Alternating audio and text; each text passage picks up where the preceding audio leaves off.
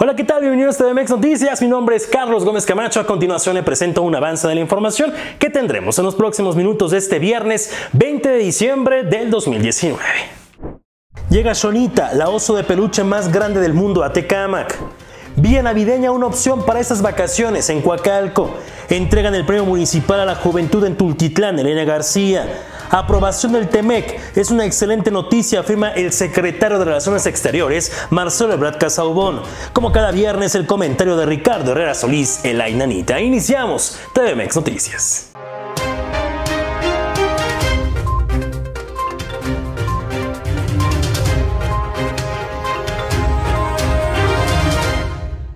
Nuevamente con el gusto de siempre de saludarlos en la TV de hoy, en este último espacio de noticias del 2019, con el gusto de siempre de que nos acompañe la invitación para que estemos en contacto vía redes sociales a través de Twitter, Facebook e Instagram como tvmex.tv. Vamos con los detalles de la información. El gobierno municipal de Coacalco colocó una villa navideña con pista de hielo, juegos, antojitos y un circo sobre hielo que sin lugar a dudas será una excelente opción para disfrutar en familia durante este periodo vacacional. Para dar más detalles acerca de esta villa navideña. Nos enlazamos hasta este punto con mi compañero Alberto Carrillo para que nos platique todo lo que ocurre en esta pista de hielo. Adelante, Beto, con tu reporte. Gracias Carlos, nos encontramos en este otro punto en la pista de hielo de esta villa navideña que ha impulsado el gobierno de Coagalco. Déjame decirte que esta pista está desde el pasado sábado 14 de diciembre y estará hasta el próximo 13 de enero para que los pequeñines y las pequeñitas vengan a disfrutar y patinar en compañía de sus padres. Es una pista de 20 por 15 metros que va a recibir a cientos, a cientos de coacalquenses. Comentarte que eh, para ingresar es necesario firmar un reglamento de operación en el que uno de los requerimientos indispensables son los calcetines o calcetas. El uso de la pista es totalmente gratuito. Es aquí unas palabras de algunos de los asistentes aquí en la pista de hielo de esta villa navideña del gobierno de Coacalco. Es indispensable que traigan sus calcetas y si pueden, unas más gruesas. Lo que hago yo es eh, enseñarles a los muchachos, a los niños, a los, señores a aprender lo que es esto de patinar. Están todos invitados para, para venir. Vamos a estar hasta el 13 de enero de 11 de la mañana a 8 de la noche. Bueno, me parece un trabajo bueno, ¿por qué? Porque podemos traer a nuestros niños a que se diviertan un rato, este, y más o menos, bueno, también para que se aprendan algo bueno. Los invita a que vengan a la pista de hielo. Estuvo padre porque pues en realidad nadie había hecho esto. Es la primera vez, bueno, de todo el tiempo que yo llevo viviendo aquí, es la primera vez que pasa. Pues les invito a que vengan aquí al circo, de por aquí, y este ya la pista está muy padre y pues que la disfruten. Carlos, hasta esta villa de Viña también asistió el alcalde de Coacalco, Darwin Eslava, quien dirigió unas palabras, esto dentro de la carpa del circo. De parte de nuestra administración,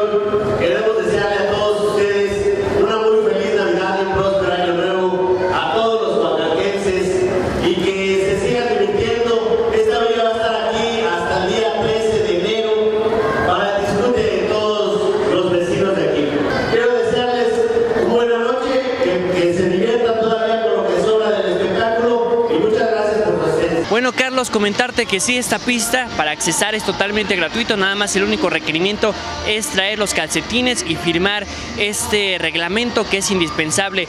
Comentarte que, bueno, pueden asistir pequeñitos de un mínimo de 1,20 de estatura y, bueno, podrán asistir también con sus papás. Hasta aquí mi reporte, Carlos, regresamos contigo.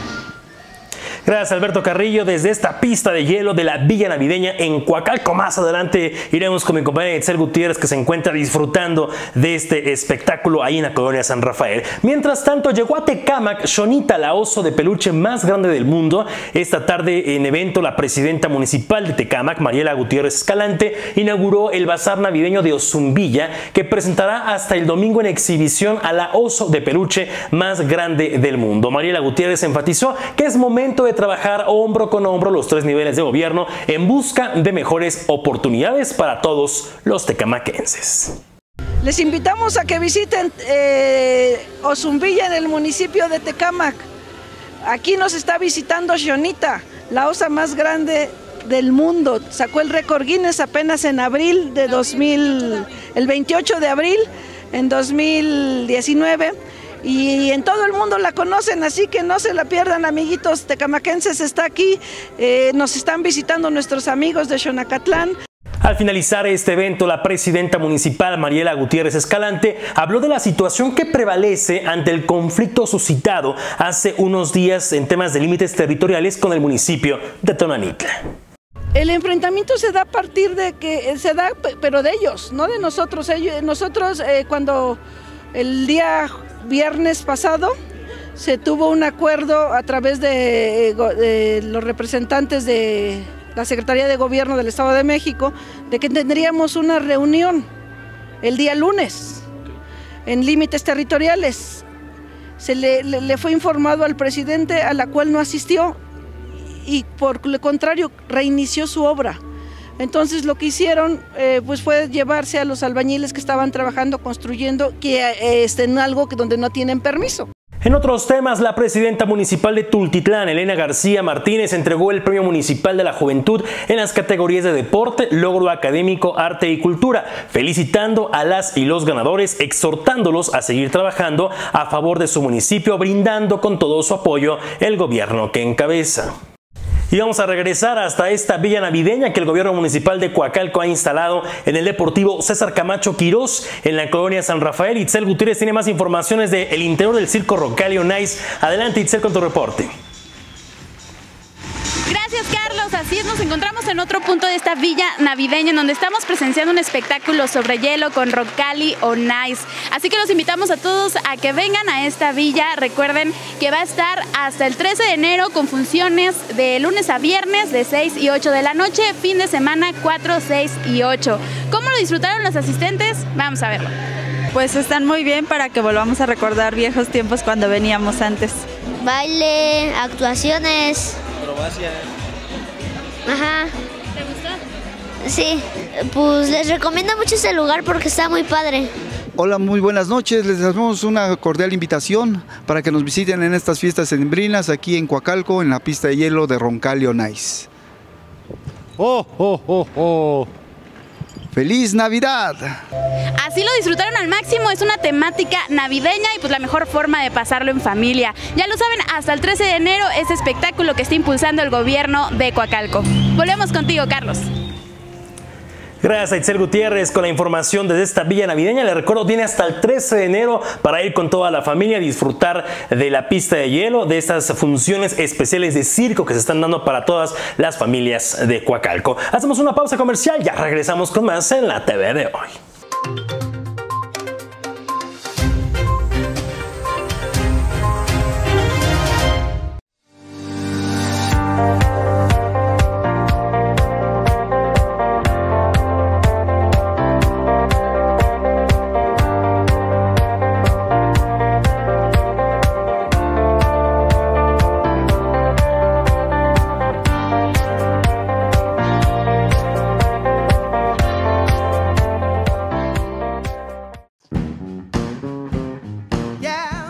El artista que llevas dentro. Recrea una obra de arte de un artista famoso en óleo, acuarela, acrílico o pastel, acompañados de una copa de vino. En dos horas termina un cuadro sin conocimientos de la técnica. Disfruta de una buena tarde de vino pinto. Me canso ganso que este año sí pago mis impuestos. Aprovecha las bonificaciones de 100% en multas y recargos por 2019 y años anteriores. Bonificación de 34% para grupos vulnerables y hasta 70% en multas y accesorios en tu traslado de dominio. Recuerda, tienes hasta el 31 de diciembre de 2019 para ponerte al corriente. Ecatepec, municipio con valores.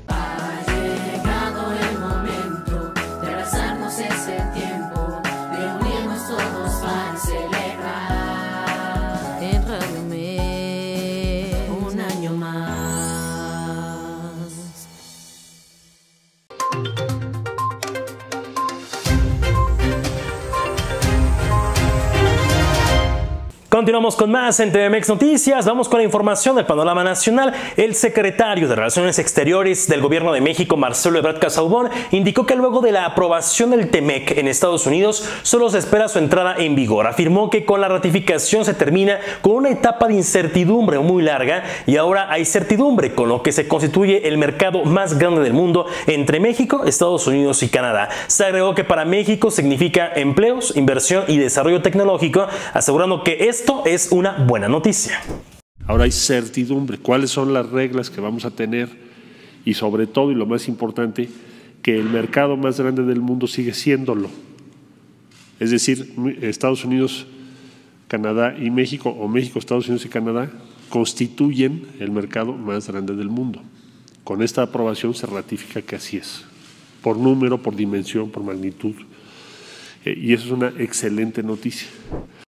Como cada viernes, el comentario de Ricardo Herrera Solís, la enanita. Adelante, Richard, con el último comentario del 2019.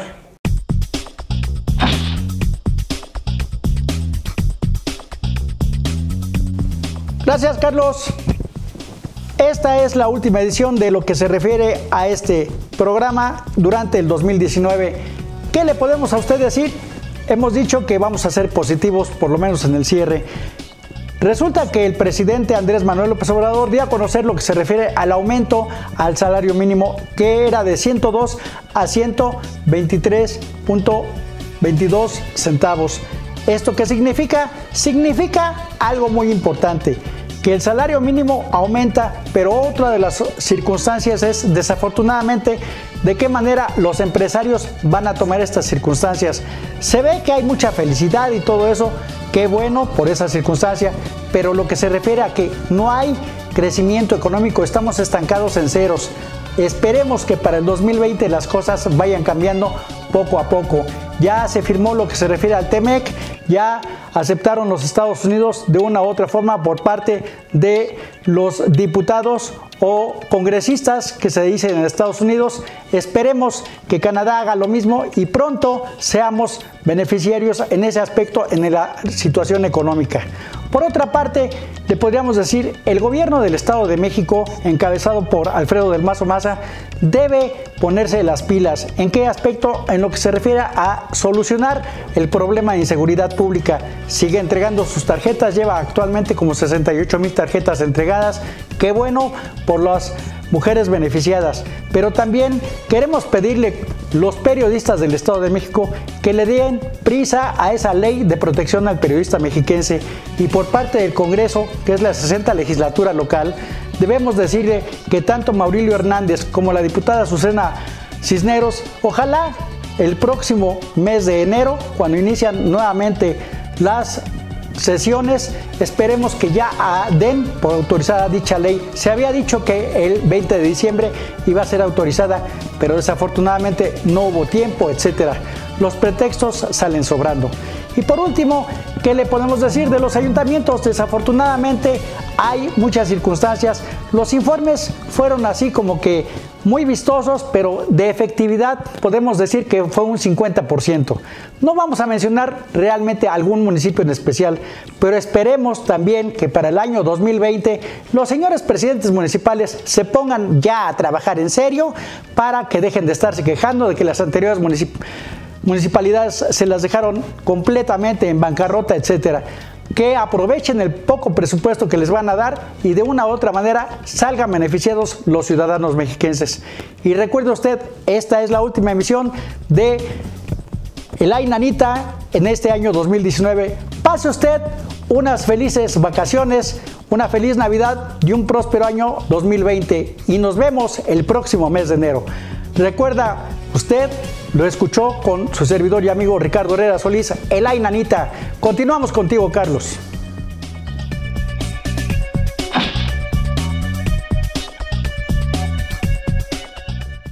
Gracias a Ricardo Herrera como cada semana con su comentario. Excelente año nuevo para Richard y para todo su equipo que hace posible el informador. Vamos con más información. Todavía no sabe qué regalar en esta próxima Navidad. La mejor opción para esta temporada puede ser un arco navideño. Durante la temporada navideña, dar una canasta o arcón se convierte en el regalo perfecto para reconocer el trabajo de un colaborador, el cariño hacia un familiar o bien fortalecer la relación con tus socios comerciales. Esta tradición navideña está arraigada en España y consiste en regalar una cesta navideña con diferentes productos típicos como dulces, embutidos, vinos y otros más. Hoy en día, muchas empresas regalan cestas para mejorar su relación, agradecer e incentivar a su colaborador al final del año. Un ejemplo es la empresa 100% mexicana Canastas y Arcones, la única en nuestro país que se ha dedicado desde hace muchos años a desarrollar este regalo con el objetivo de mantener esta tradición milenaria. Hacer regalos también se ha convertido en una tradición de generación en generación. Se ha establecido para siempre en nombre de la fraternidad y solidaridad. Es muy importante considerar algunos aspectos al realizar un regalo, pero sin duda, un detalle personalizado, hecho por canastas y arcones, puede ser la mejor opción. Regalar eh, canastas y arcones es la forma más tradicional que existe actualmente en México de demostrar el cariño y fortalecer las relaciones comerciales con los socios, con los clientes y con, con los colaboradores. Canastas y arcones tiene muchos valores agregados que van desde los costos. Nosotros compramos directo de fábrica, controlamos todo el ciclo del, negocio, eh, desde la compra del producto en fábrica hasta la entrega al cliente final. Incluso hay productos que nosotros importamos directamente y tenemos marcas propias, como es el nuevo vino Leyenda Romana.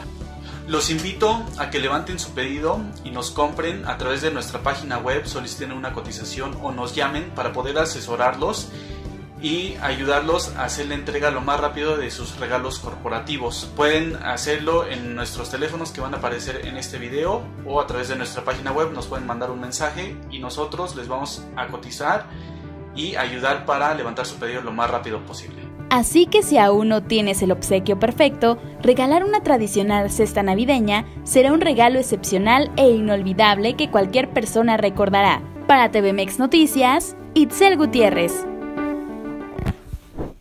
Ahí la opción de regalo para esta Navidad. Antes de irnos, agradecer como siempre su preferencia y confianza. Nos vamos a tomar unos días de vacaciones. Regresamos hasta el próximo 6 de enero ya del 2020. Y agradeciendo como siempre su confianza y preferencia, deseándole una excelente Navidad, un próspero año 2020 lleno de mucha salud, de mucho éxito. Y bueno, a nombre de todo el equipo de producción que de verdad hace una gran labor todos los días para sacar este espacio de noticias. Aquí se aplica y aplica muy bien, muy merecidas y la verdad también muy, muy necesarias. Nos vemos el próximo año. Continúe con más en la TV de hoy. A cualquier hora, a cualquier lugar, celebremos juntos esta Navidad, un año más.